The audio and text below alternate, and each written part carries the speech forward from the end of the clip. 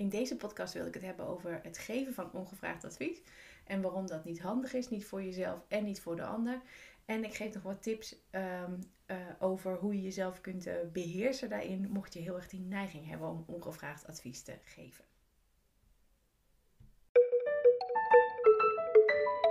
Welkom bij de podcast van Baasbegrip.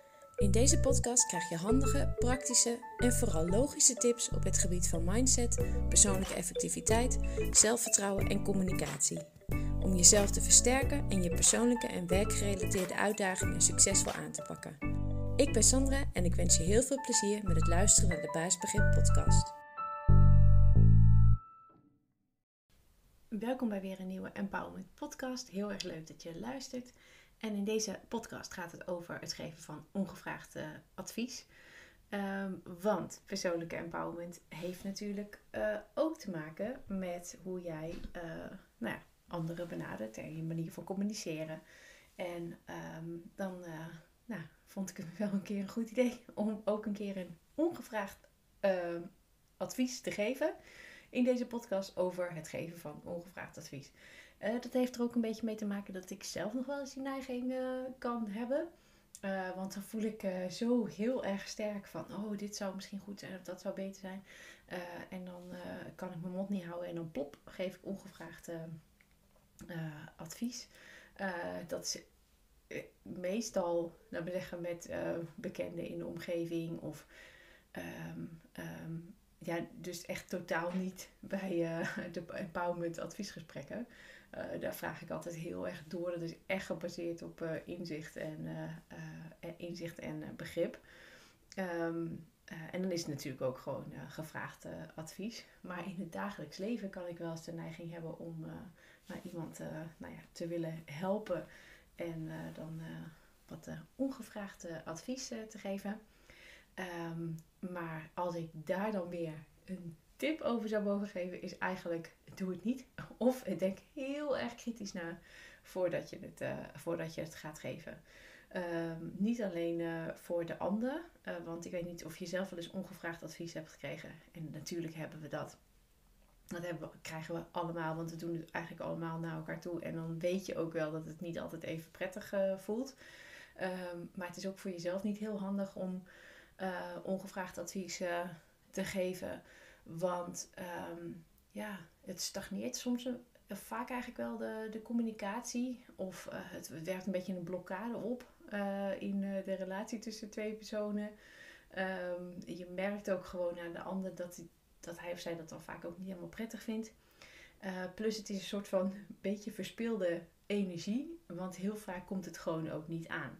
En dat is ook hartstikke logisch. Want iemand vertelt iets, wil zijn of haar verhaal kwijt. En als iemand dan uitgepraat is en plop, je geeft gewoon direct een advies, dan, uh, ja, dan lijkt het wel of je misschien ook niet luistert of niet verder geïnteresseerd bent of nieuwsgierig bent.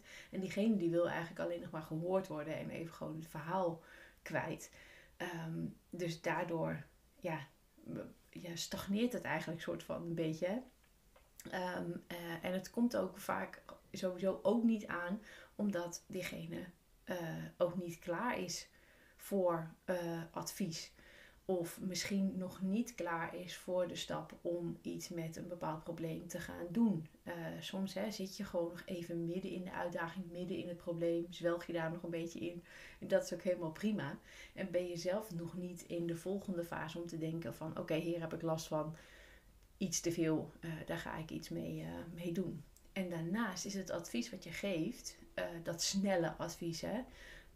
dus dat, dat, dat snelle, ongevraagde advies in een gesprek is ook vaak natuurlijk heel gekleurd door jouw eigen ehm, filter. Door jouw eigen kijk op de wereld, door je eigen normen en waarden, door je eigen ervaringen. door um, uh, jouw eigen kerneigenschappen, de manier hoe jij in elkaar zit, wat jouw eigen ingebouwde, ontworpen strategie is om dingen aan te pakken. Uh, en past het helemaal niet bij, uh, bij de andere persoon. Dus dat zijn allemaal redenen ja, om het gewoon toch maar niet te doen.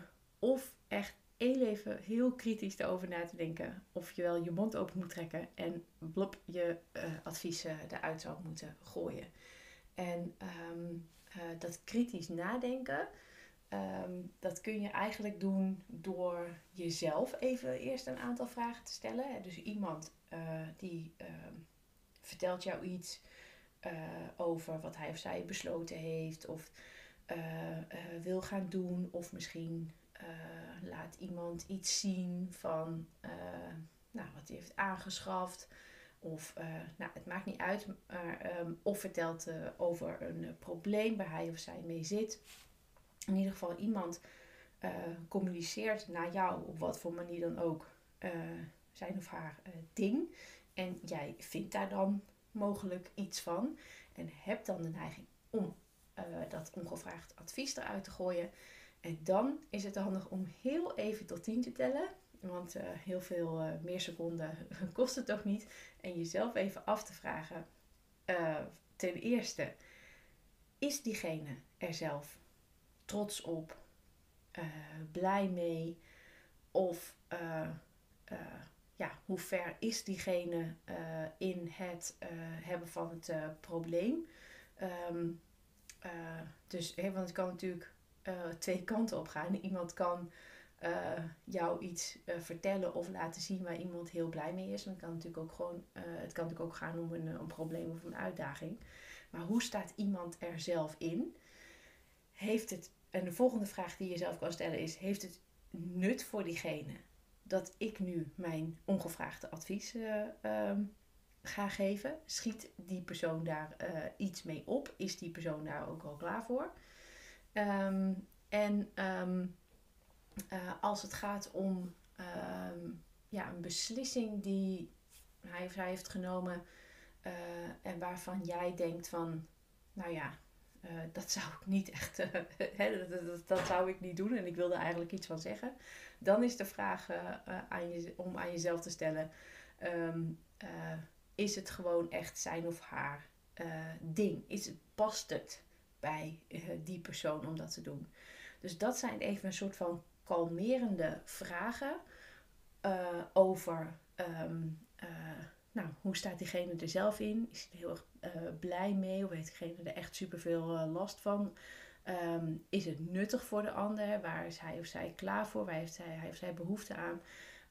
of um, nou ja, is mijn mening heel erg gekleurd door wat ik zelf wel of niet leuk vind? Um, en is wat diegene vertelt aan mij gewoon echt daadwerkelijk zijn of haar ding. Nou, dat zijn dus even vragen aan jezelf om uh, als een soort uh, kurk op je mond, om um, je dat eerst eventjes af te vragen voordat je je mond opentrekt. en heel vaak zul je dan zien dat je denkt, nou nee, laat maar, ja, laat maar zitten. Um, ik hoor het gewoon aan. Ik oordeel er verder niet over. Hè? Leven en laten leven. Um, ik ben blij voor diegene als het iets leuks is waar diegene mee zit.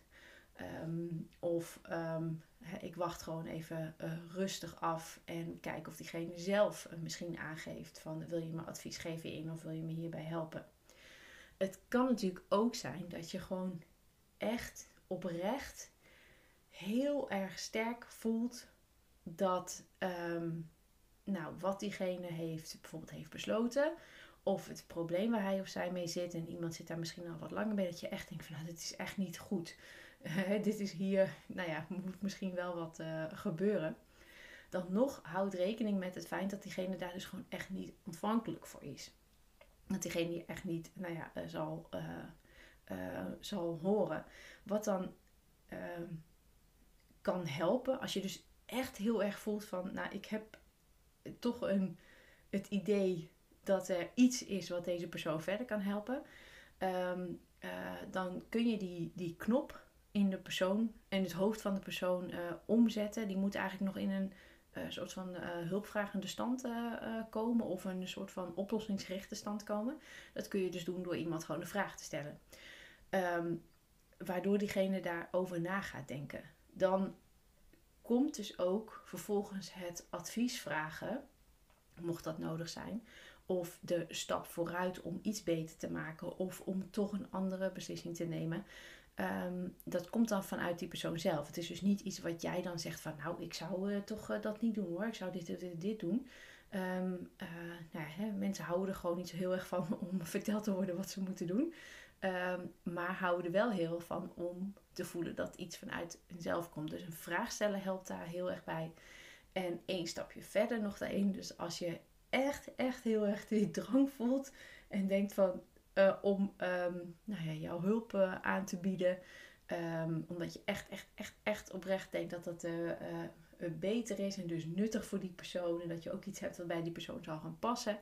Is dat je dan misschien nog ook gewoon letterlijk kan vragen van... Goh, um, ja, ik heb wel een idee daarover ja, hoe het misschien beter zou kunnen gaan. Mag ik je een tip geven of ben je al klaar voor advies? Of je laat weten nou, dat je er klaar voor staat om die persoon te gaan helpen. Dus ik hoop dat je iets gehad hebt aan dit ongevraagd. Nou, helemaal ongevraagd is het niet, anders had je de podcast niet geluisterd. Um, maar dat je iets gehad hebt aan, aan, deze podcast als je de neiging hebt om ongevraagd advies te geven. En dat je merkt, hm, dat komt vaak niet helemaal lekker over. En dan hoop ik dat je weer luistert naar een volgende podcast. Bedankt voor het luisteren naar deze podcast. Ik hoop dat je het leuk en nuttig vond en dat je de tips kan toepassen op jouw manier. Heb je vragen? Stuur dan een mail naar info.baasbegrip.nl of neem een kijkje op de site www.baasbegrip.nl. Tot de volgende podcast.